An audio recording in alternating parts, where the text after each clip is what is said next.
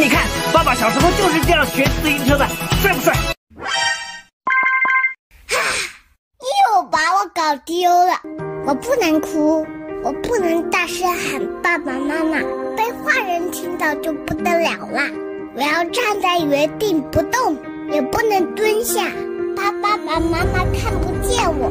要是看到穿制服的人，警察叔叔、前寻求帮助，而且一定要记住爸爸妈妈的电话号码和家庭住址。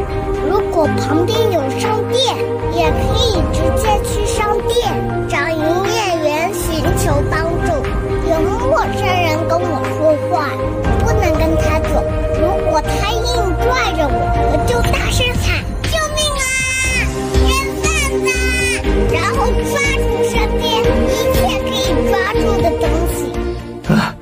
爸爸终于找到你了，吓死我了！我这个帽呀，我是你亲生的吗？